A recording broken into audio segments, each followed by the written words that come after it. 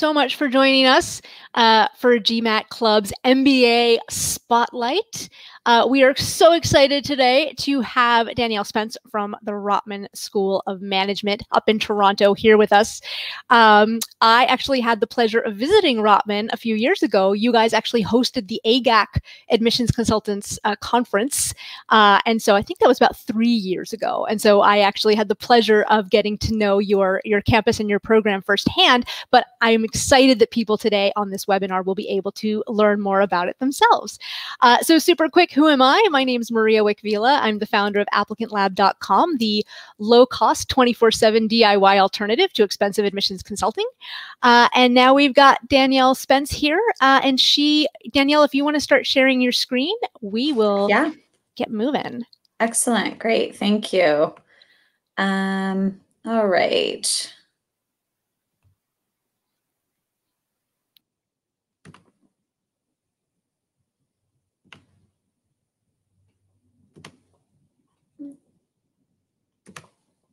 All right, everyone. So thank you for joining us today. It's my pleasure um, to help you learn more about the Rotman Full-Time MBA at the University of Toronto.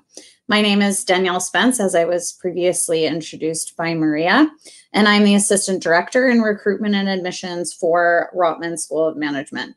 I have the pleasure of usually traveling around the world uh, to speak with talented candidates, like hopefully the ones who have tuned in today. Uh, but we are obviously in a in a time of transition, and um, we'll do the best today, speaking virtually and online altogether. As you all know, that choosing an MBA is perhaps one of the most important decisions you will make, both personally and professionally. So it is important that you find the right fit. Events like this are fantastic for students who are, con are considering an MBA because it does give you a feel for the school and the program to which you're applying. The goal of my presentation today is to equip you with enough information to help you decide if Rotman offers you what you want and what you need in an MBA program. We've got a lot to cover today, and I, I have about 15 minutes to speak with all of you before we jump into FAQs. So I think the best place to start is with our location, as this is one of the biggest differentiators in choosing a business school. Not only is the city important, but so is the location of the school within that city. As I'm sure many of you know, Toronto is now considered the world's most multicultural city.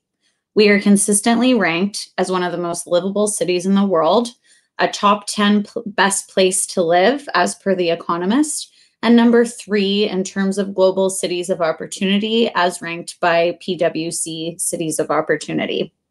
We are the second largest financial center in North America after New York, and Rotman's campus is located just steps from our business district, which is called Bay Street.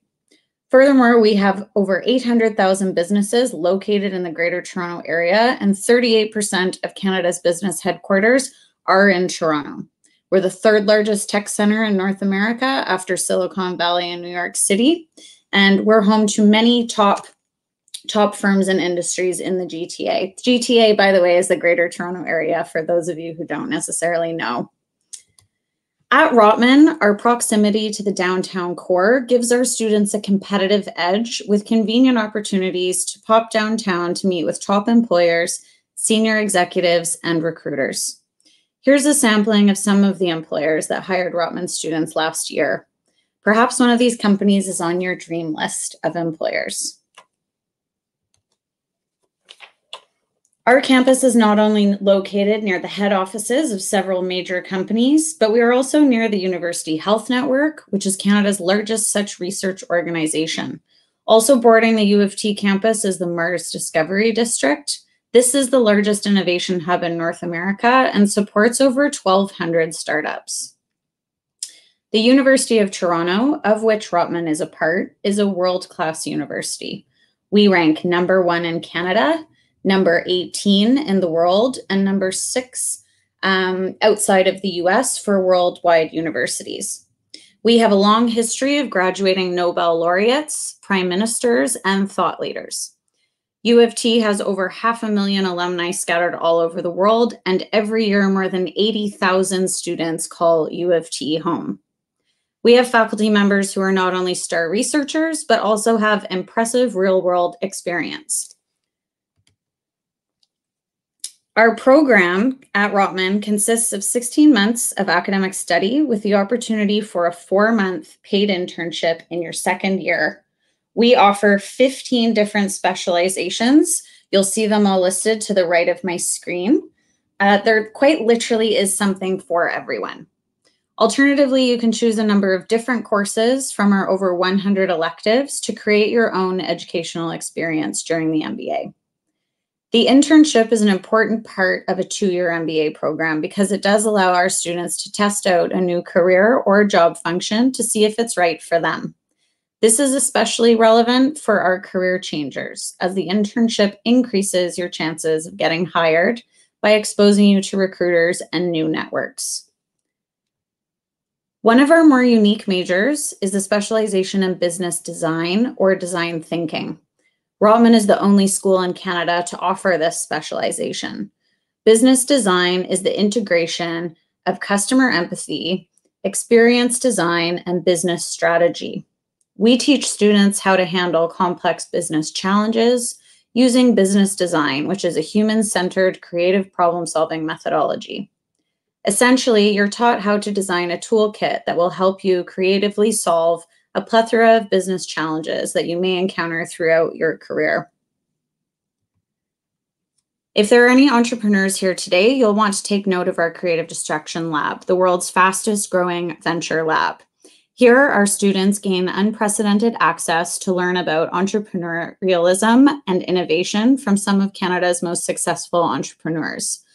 Founded in 2012, the Creative Destruction Lab has created over $4 billion in equity value to date.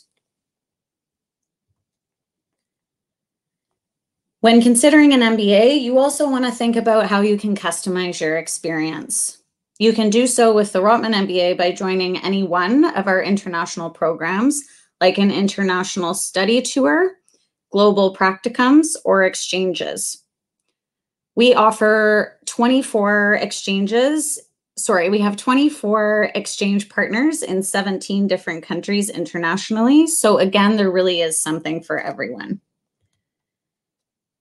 Perhaps some of you have heard of John Byrne. He's the editor of Poets and Quants, which is a very popular blog based out of the US.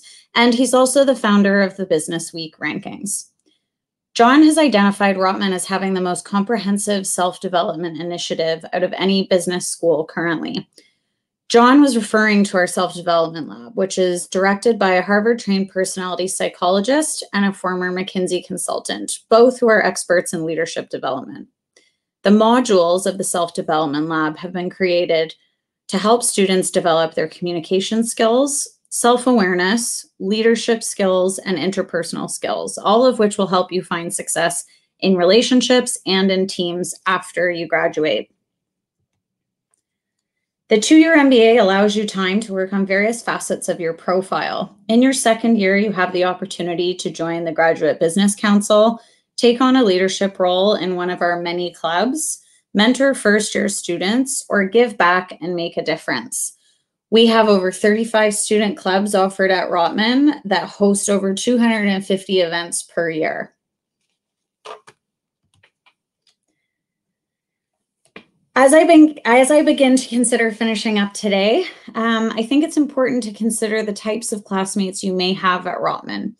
These classmates will have just as much of an impact, if not more, on your learning than some of our faculty.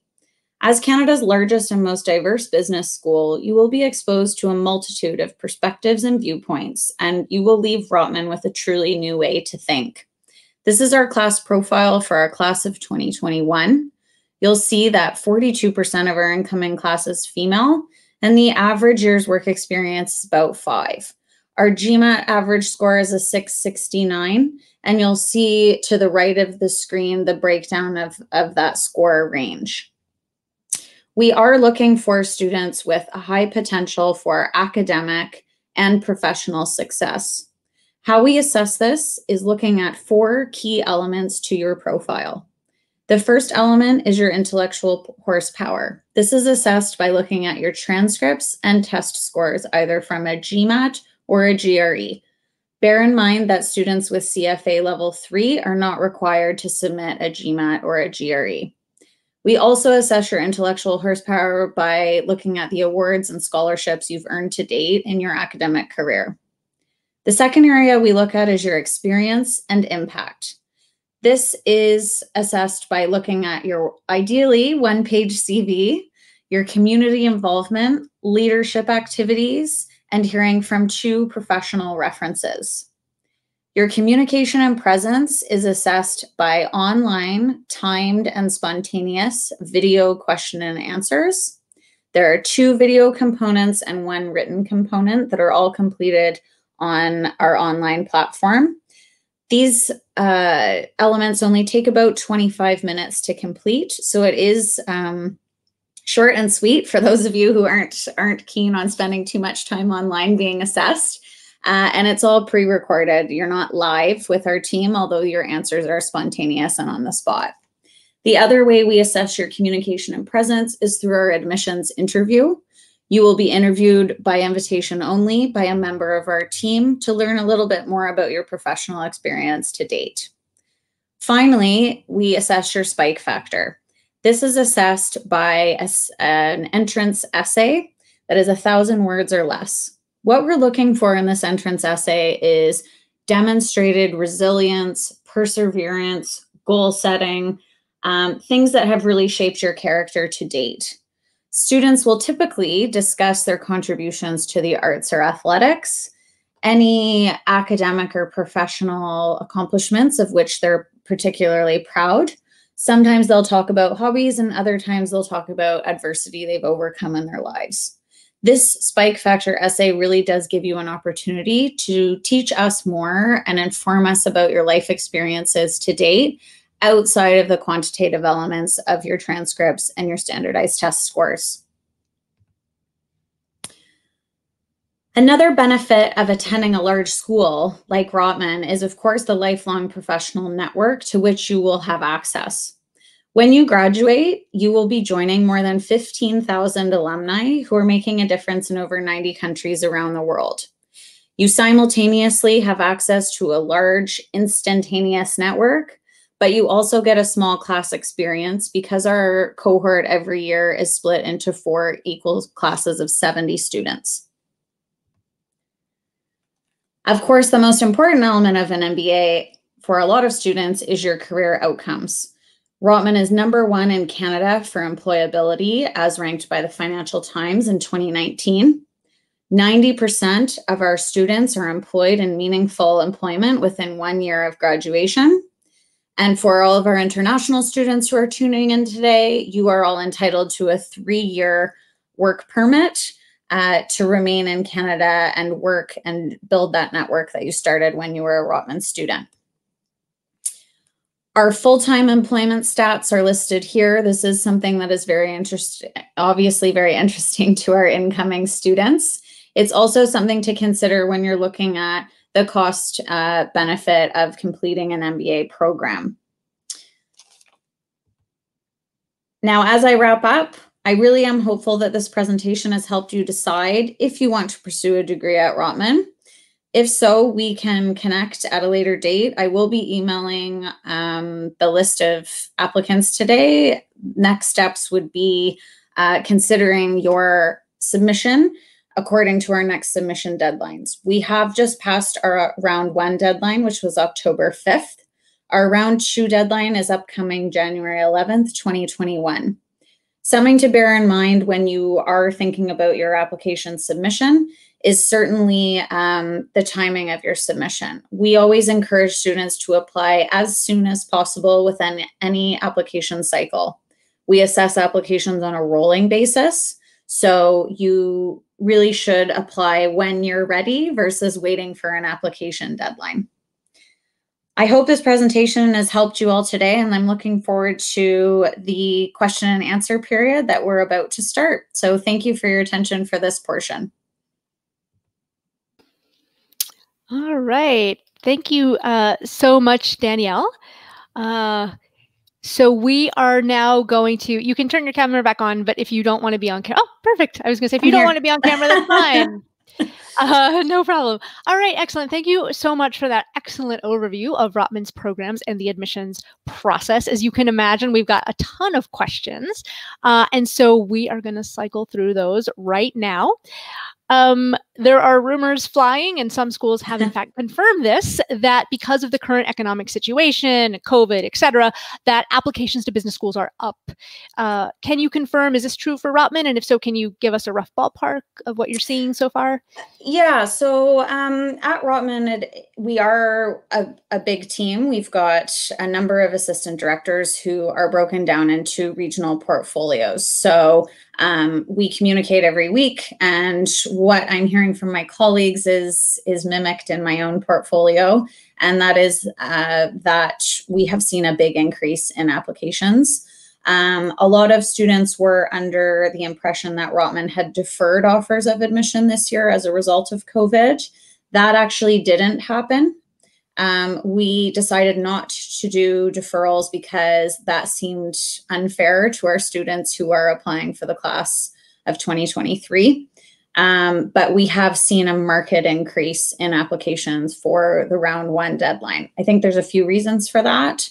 Um, obviously, it's an interesting time to go back to school and engage in a full time program. I think that's one of the reasons. But the second reason, at least in my own portfolio, would be that processing times are taking so much longer for international students that I think a lot of international students are giving themselves the longest runway possible so that they're not um, impacted out of their control with delays in study permit processing and obtaining visas.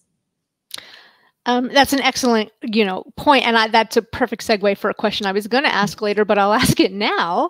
Uh, you did touch upon this briefly, uh, but for those people who may not be familiar with, you know, because here in the U.S., uh, especially depending on the election, uh, things may or may not be international friendly, let's say, uh, mm-hmm. in the coming years. And so I think that one of the biggest advantages, you know, if I were in the shoes of many applicants today, I would be strongly considering going to Canada uh, for my MBA program. And so could you could you maybe dig a little bit more into like how does the visa process work if someone is interested in residency and moving to Canada uh, mm-hmm. after their MBA? Is that something that's feasible, or is it like you know a lottery uh, system? Because I think this is something that really helps set the Canadian programs apart. Yeah, so we are a country built on immigration, and we have a, very healthy, very welcoming immigration system in Canada. Um, every international student completing a two-year MBA, and I, I stress two-year because there is a bit of a difference. I'm speaking for Rotman's program specifically. You'll have to do a bit of research on shorter MBA programs. But for a two-year MBA, you are automatically entitled to a three-year work permit. How that works beyond the three years does depend a little bit on the candidate, but generally speaking, if you have worked for three years in Canada and attended school for two years in Canada, there is a, it's not a point system per se, but there is a bit of an assessment on how long you have been in country, then being entitled for permanent residency status.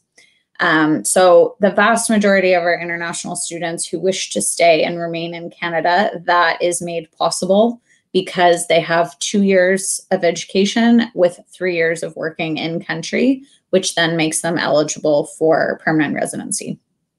Oh, that's a really great point because some of the other programs in Canada are actually one year MBA programs, which have their own pros and cons. But it sounds like there's also perhaps a potential drawback or potential benefit, I should say, to Rotman's program being two years, uh, therefore giving people more options in terms of. There's a bit of a difference. You're right. Yeah. Yeah and I'm not an immigration professional, so yeah, uh, certainly, yeah. This is this is anecdotal from my experience. I would anyone who's really set on on the permanent residency route should be doing their research as well. Yeah, so I get a lot of those questions too, and I'm like, I got enough on my plate. to think about. Um, I cannot be an expert on this sort of thing as well. But so I, you certainly just helped me understand a lot more than I had before. So thank you. Well, I'm glad. Good. Yay. Um, okay. So in the application pool, uh, I think more people may be unemployed than perhaps they have been in uh, in the past. Um, oh, sorry, that, that perhaps they have been in the past. So, uh, if people are applying right now and they're unemployed, how are you guys assessing that or judging those folks? We we have discussed this within our team, and there definitely have been a lot of COVID related related rather layoffs and furloughs, both domestically and internationally. Um, we're not going to hold uh, world events against our applicants. Um, what what I would stress if you are experiencing a period of unemployment due to COVID, um, I would try to put yourself in our shoes and and give us a bit of an understanding of how you've been filling your time otherwise. So whilst we wouldn't um, look unfavorably at an applicant who has experienced a period of unemployment due to COVID, it is always good to show that you're somehow engaged, um, whether that's in an entrepreneurial venture or leveling up or perhaps even helping out with a family business, whatever it may be. Um, volunteering, if you could fill in that gap for us, that would be the absolute best approach. Um, but it is hard to fill in gaps when people are under lockdown. so take it all with a grain of salt, do your best. Um, think about how that's going to have an impact on the overall appearance of your profile. But we are seeing a lot of individuals who have unfortunately experienced layoffs and furlough because of COVID, and, and we're not um, treating them really any differently than those who have been able to maintain their jobs. That's that's great to hear. And as I, I, pointed out, for those of you who have been with us for the past several hours, I pointed this out during another Q and A. Uh, you know, one of the admissions officers at a top business school said over the summer, like that she got on it, she got laid off from a job yeah. in a previous part of her life. So she is certainly not going to hold that against anyone. And I think it's fair to say that most admissions officers are real people too, uh, and they will, of course, be understanding and empathetic should you find yourself in this situation. Um, all right, so jumping into, uh, you know, GMAT Club has over 1 million registered users. There are over 10,000 people who signed up for, uh, to, partic- you know, to get information about this session. Uh, and so there's a lot of people from India uh, who are especially interested in Rotman. So because you get so many Indian applicants and because so many of them have very similar backgrounds, can you give us any information at all about how do you differentiate what can help differentiate the very similar applicants? That's a good question, and it's um, very relevant to me because, as some of those who are tuning in probably already know, that I manage our India portfolio um, in conjunction with the rest of South Asia and the Middle East. Um, so there are a lot of profiles coming out of India that are similar. Um, I think it's worthwhile uh, thinking about the fact that we do take a holistic approach to admissions. So, believe it or not, I am looking at every single application that comes through to Rotman from India. So, I have a good grasp of the sorts of candidates that we're able to admit to the program every year um, and the sorts of candidates that don't necessarily make it through. A common misconception amongst Indian candidates is that the GMAT is the be all and end all of the application. Um, Indian candidates are very well versed in standardized testing because of uh, the way that the education system is formatted in India. So, by and large, Indian candidates do very well on the GMAT. Um, so, if we're looking at a pool of very similar applicants, rather than spending time rewriting the GMAT to get a 760 stick with your 700 GMAT would be my advice and think about the holistic approach to the application. Um, what are your video submissions like? What are you talking about in your spike factor essay? Um, what kind of recommendations do you think you're getting from your recommenders? There are ways to stand out. The best way to stand out is to demonstrate strength in every area of the application. Hopefully that answers the question a little bit. But uh, a tunnel vision approach to standardized testing is a theme that I do see in a very competitive, very large portfolio. Um, I would always recommend spending more time on expressing yourself uh, properly in your videos and in your essay and being a little more thoughtful about those components than um, expending time and resources on rewriting the GMAT for a few GMAT points. Mm-hmm. Mm-hmm. Yeah, and that's a, that's a great point. I mean, something I, I bring up to people all the time is that business schools are looking for people who are going to go on to become business leaders. Uh, and so, what defines a business leader? You know, I often talk about. I give an example of my husband's career, which he hates. Uh, but you know, he was in finance earlier in his career, and and 20 years ago, what made him successful was being very very good at Excel and numbers and analysis. And now that he's a senior executive, it's not about that at all, right? He has people who do that stuff for him, and it is almost entirely about his people skills. Uh, and so I think that a lot of candidates, especially from India, you know, it's important to realize that they're looking for people skills so that when you graduate from Rotman and then you you you know go out into the world and do great things, that you have those people skills that will elevate you uh, to that level. So I I'm glad to hear you. I'm glad to hear you say that. Uh, so, a related question that uh, you may or may not be able to address is speaking of being obsessed with GMAT scores, um, do do Indian candidates tend to have higher than average scores? People who get accepted, I would say, tend to have higher than average GMAT scores versus people perhaps from Canada or the United States. Yeah, and that is a good question, and it is a question worth exploring a little bit.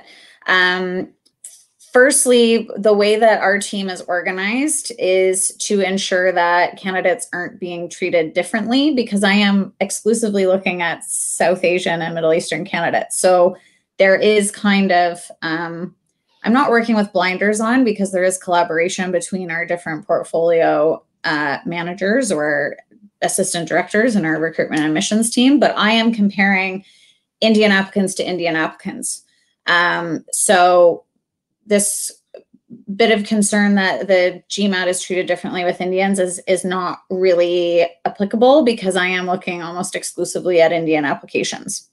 Um, the Indian GMAT scores do tend to be higher globally than other nations, but there's a lot of different reasons for this. First off, as I already touched upon, um, the standardized testing that is part of uh, the Indian education system from a very young age makes Indian test takers uh, usually quite quite a bit better versed when taking a standardized test and attempting a standardized test. The second thing to consider is that Indian nationals, by and large, are instructed in English as well.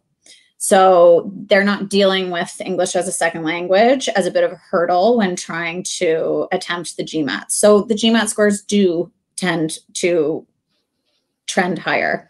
That said, I every year decline um, Indian candidates with 760, 770 GMATs. I've done it, getting back to that holistic approach to admissions. Um, and every year, Indian candidates get into the program with GMATs in the 600 range. So there's no hard and fast rules on it. That would be grossly unfair um, and unjust in the process for assessing applicants, whether they're Indian or other foreign nationals. Um, but I will say this the GMAT score is one element of your application that you are almost entirely in control of in the present and in the now.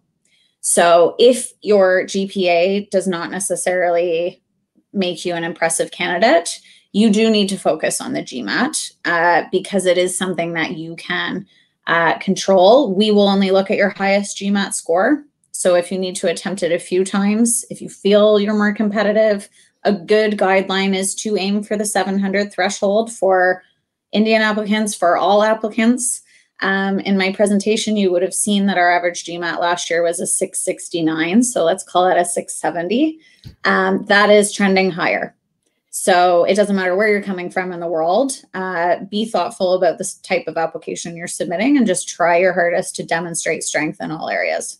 I feel like that was a really circular answer to the question, but I hope no, you actually you answered it. You answered it completely because you you said yes, they there does tend to be a higher than average. But that having been said, it doesn't mean that just because your score is in the 600s that you're doomed and you shouldn't even bother uh, because of the thankfully the holistic nature of of this process. You know, rejecting people with 760s or 780s makes a ton of sense because showing that you're really, really good at taking a test might not mean anything in terms of your ability to lead and inspire others. So I would like to bring that up for people who are watching right now. We're like, I have a 780. That means I'm guaranteed admission to 100% of my absolutely school. does not. No. Yeah. Um, okay. So I, I noticed on your slide about your your class profile, you've got a pretty big uh, work experience range in terms of your admitted class. You have between people are, are, are enrolling with between zero to 13 years of experience. Uh, mm-hmm. that's a pretty big range. And so I was wondering, um, because we, we tend to get a lot of questions as well in terms of like, am I too old? Am I too young? Uh, for, for either end of that spectrum, the zero years or the 13 years, if someone is very young, we'll start with the young people, how can someone who's very early in their career assess if they're ready to be a competitive candidate? How can they, if they're like one or two years out or zero years out, how can they start thinking about like, huh, I should probably apply this year or hmm, might you know, might be a little early, might want to wait a few years. How would you advise someone in that situation? Yeah, that's a good question. So there are benefits to both being on the younger end of the spectrum or the older end of the spectrum. I shy away from saying young or old because it really is about years of work experience. Sorry. Yeah. Um, no, that's okay. uh, but it is about years work experience. So sorry, I've just lost a headphone. Um, so there will be individuals on our program who have graduated from their bachelor's degree 10, 15 years ago occasionally because they've actually had to take some time out of the workforce. Um, it happens with uh, some of our applicants who have had families. Um, they've had different commitments that have required their time and they've had a few pauses or breaks in their career trajectory. I think for young candidates, um, there are a few things to bear in mind. So, firstly, there are advantages to being young on the program that a lot of our uh, less experienced, more junior potential candidates don't consider. So, firstly, with being more on the junior side, you're going to learn a lot from your classmates and colleagues because you don't necessarily have as much to contribute. Um, you're going to learn certainly more from your classmates than the individuals with 10 years work experience. Secondly, we do have a compulsory internship component to the program. A more junior candidate is going to have a bigger choice with internships, not having as much experience, because occasionally you can kind of experience out of being competitive for internships, which I'll get to when I talk about our more experienced candidates. The third thing that our younger and less experienced candidates seem to forget is they've only been out of formalized education for a couple years.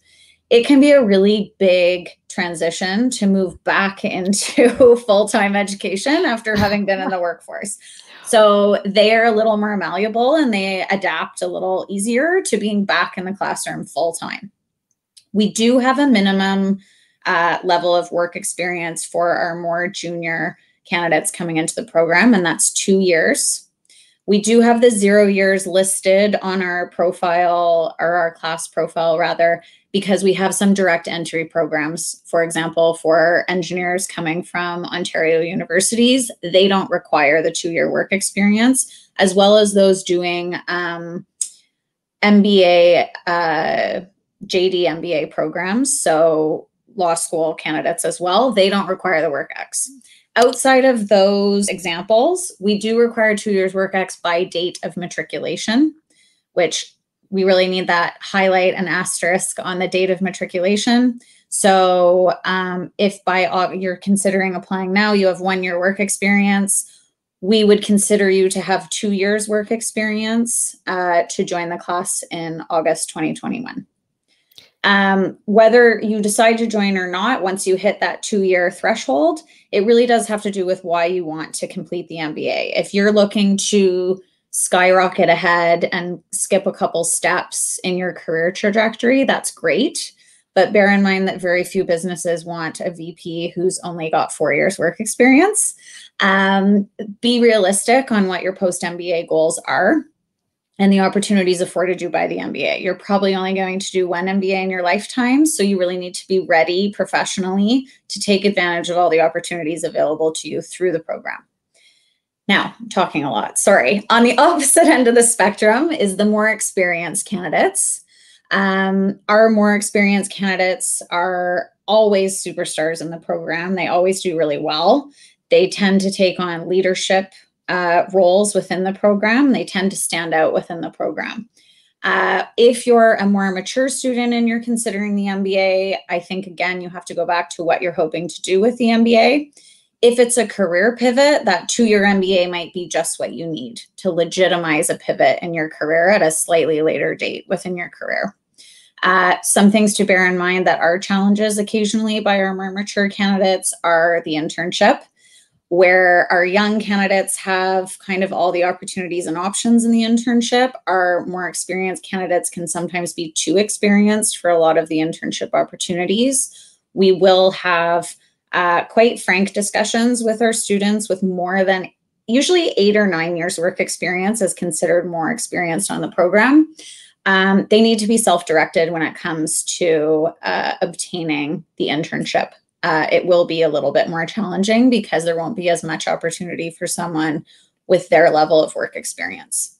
Um, beyond that, again, it goes back to that holistic approach and just looking for strong individuals who are well rounded. So, um, for young candidates, if you are a fresh graduate who graduated six months ago, I would say maybe press pause on your MBA aspirations for six to 12 months. For our candidates with more than eight years work experience, going between eight and 10 years work experience, maybe have a discussion with a member of our team before submitting an application because there might be an MBA offering that is more aligned to your goals and your needs. We do have different MBA programs at Rotman. It's not just the full time and that's a, that's a great point. You know, sometimes I, I talk to people who are on the more experienced side, and uh, they say, "Well, it's not fair that I, you know, the admissions process it's harder to get in. It's not fair." And I say, "Well, it's you know, if you want to work in management consulting or investment banking, it may be harder for you to get those post MBA level jobs." And so some people will say, "Well, that's not fair." And I'm like, "Well, think about that. Like, if you go in as an associate level at Bain or whatever, like your boss is going to be maybe 10 years younger than you are. And are you going to be cool with that? And your colleagues are all going to be 10 years younger than you are, and they will work 100 hours a week because they may not have as many uh, personal requirements or, or commitments as you do. So, really think about, I would urge everyone in general to think about what are your career goals with an MBA, but especially the older the older candidates. Like it's easy to think that the grass is greener on the other side of the fence and oh god, I just need to get that job in banking. Uh, but really think about like what would it be like for you to work 100 hours a week reporting to someone who is considerably younger than you? Would you be cool with that?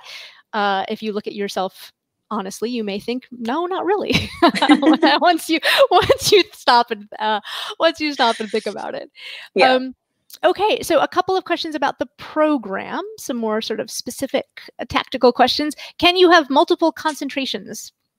That's a that's a good question. I get that one a lot. Um, if you want to concentrate on multiple areas, I would almost always recommend that you enroll in a general MBA because then you have different opportunities to enroll in any electives that you're interested in. Um, with a specialization, the list of elective courses is narrowed quite a bit to ensure that you're meeting the criteria for that specialization. So, if a few different things interest you, I would always recommend moving forward with a general MBA and picking and choosing the exact um, electives that are interesting to you. Okay. Um, someone wants to know Have you guys been working more to develop uh, offerings in op- fields of like operations and digital? So, in terms of like course offerings or course offerings. Yeah. So um, the curriculum has changed a little bit during COVID. I don't know if this is COVID related or not, but um, we do. I think it's just in general. Just in general. So we do have specializations in operations management. We do have elective courses in uh, the digital space. Um, sorry, without more elaboration yeah. on that question, I'm not quite sure how to answer. It. Well, I think I think you know I would the creative destruction lab. I think is something that really uh, sets you guys apart. It really is a great way for those of you who might be watching this who are interested in learning about design thinking. Uh, it is a real hands-on way uh, that Rotman teaches design thinking. So I would look at that. And also, can you describe a little bit more about this? Is actually this is not a question I got from the crowd. This is a question I want you to elaborate on because I was so impressed when I visited. Uh, the self development lab, you know, the I don't remember the woman's name who runs it, but Maya they were Djikic. yes, yes, she was amazing. She was so inspirational, and it's not just that she individually was inspirational, but what she was building out. If I recall correctly, there were elements of the program where you get like video recorded, and your your face and your body language and all that gets assessed, which the idea of it stresses me out, but also is so useful, right? I mean, there are so many micro elements of how we come across that impact how we're perceived. So could you could you talk a, a little bit more about you know when did the self development lab start what are what are some of the highlights of it what's the reception been from the student body because i think it's a yeah so self development lab not um not to take away from the other programming that we have at Rotman, but it definitely is one of our flagship opportunities within the within the program and something that we are very well known for. Um, Self Development Lab is one of the softer elements of a profile and some additional work that can be done outside of the basic criteria to earn an MBA that's accredited internationally. So it really is a benefit of a two year MBA because you do have the quote unquote luxury of time to work on other parts of your profile aside from getting your managerial accounting, etc. Um, the self development lab was developed by Dr. Maya Djikic. She is phenomenal. Um, if you ever have the opportunity or the pleasure to see even a video recording of, of Maya, it translates through video uh, let alone in person. Her charisma and her magnetism is is amazing. Um, the I don't. I think some of it is maybe she was born with it, but it could be all thanks to the self development lab. But she is looking to help people really make an impact and influence both um, personally and professionally. So, as you right, rightly identified, there is a video component to the self development lab. So, for example, an exercise that our students always talk about is uh, practice interviews being video recorded. And then within the self development lab, they will go through that video almost like a coach would with game tape. Um, for any individuals who are in the sports world and would know this reference, they will circle you know, Danielle, when you turn your head this way when you're speaking, that could be perceived as hostile by some of your listeners. You're moving your hands too much. They shouldn't be in your lap. They should be so on and so forth. Um, yeah, and it's really great because as you as you noted, you aren't necessarily understanding how you're being perceived. And the self development lab does delve into that. And it's amazing how much more productive and efficient you can be when building consensus, um, solving problems, mediating disputes, negotiations, etc. when you've gone through the various components of the self-development lab. Uh, they have been designed for um, helping people hone in on these skills to further their interpersonal skills and their leadership skills.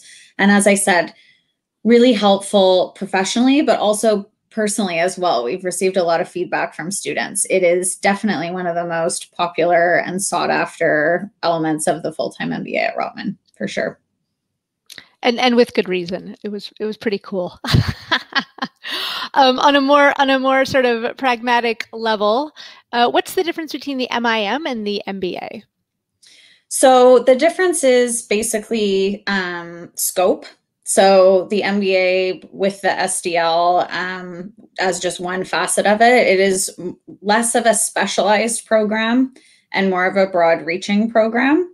Uh, the full-time MBA is going to be useful for individuals one year out of the program, 10 years out of the program, and 20 years out of the program in a really broad spectrum of business practice. So um, if people are looking to specialize in one specific area, that's great. But the full time MBA does provide individuals with a well rounded approach to leadership um, and management effectively. And and uh, does does having an MIM, if somebody gets an MIM and then later they apply for an MBA, does that impact, or if they already have, say, a PGP uh, degree from an Indian business institution, does that impact their admissions chances later on? It absolutely doesn't have an impact from Rotman's perspective. Um, the only area where you might find you get caught up is legitimizing a study permit. It doesn't happen frequently, but occasionally um, there will be questions as to why you are why you feel the need to get further accreditation when you've already completed something quite similar. Um, so that is something to bear in mind. But every year we have applicants coming into the program who already have MBAs from foreign countries and they're still able to obtain their study permit documents and join us at Rotman. So it really does depend. So, so when somebody does already have uh, some sort of a master's degree in a business or management related topic, what what reason do they have to, to get the MBA? Like that is that says that convinces you like, oh, you know what, we should this person really will benefit from our program, even though they already studied this. Yeah, so it's not so much us looking at it with a with concern or um more questions. It's more immigration. So okay. it, it would be more from an immigration perspective. Sometimes students do find that their study permit applications are refused because they've already obtained a graduate degree. Um, it usually is if it's an MBA. Again, it's it's rare, but it has happened in the past. Um, but we love to see advanced degrees with our applicants as long as they do have that work experience as well. So a professional student who has multiple degrees on end and hasn't been in the workforce isn't necessarily going to be attractive for the MBA program, but a master's degree in any field is not going to be detrimental because it does show us that you're intellectually curious and you are looking to better yourself and level up in your training and your accreditations.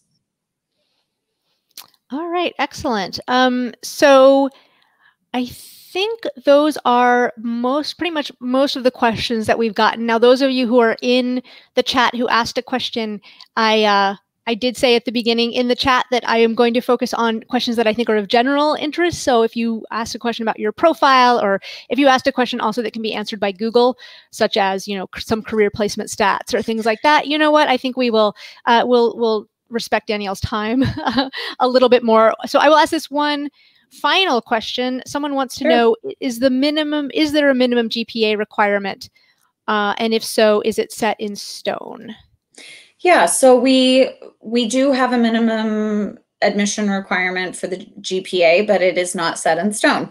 So the minimum requirement would be a 3.0 on a four point scale um, anything below this is going to mean that we're taking a really close look at your undergraduate transcripts and your standardized test.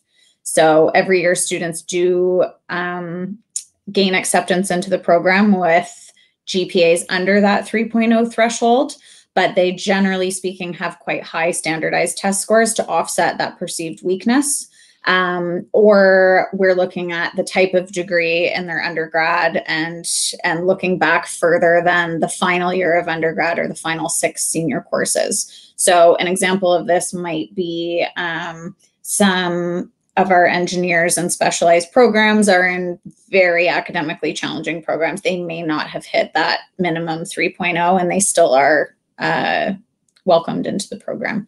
But it again, I've said this a million times and I apologize. I sound like a broken record, but we do take that holistic approach. So if your GPA is low, but um, you write about a particular experience in your undergrad that maybe explains the low GPA, we're not looking for excuses in in your essay or your CV but for example we have a lot of athletes who come into the program. So mm-hmm. if you're a varsity athlete and involved in X Y and Z clubs and your GPA was a little bit under the 3.0 that might be enough to still make you um, attractive for admission. But the 3.0 is a good threshold and by and large our students do hit that threshold and, for folks with a lower GPA, I would I would reemphasize what Danielle just said: the importance of the standardized test because the standardized test is the level playing field, right? Yeah. Someone who majored in neuroscience engineering at MIT, uh, they might have below a 3.0, but in terms of you know, hmm, can this person handle the academic rigors of our coursework?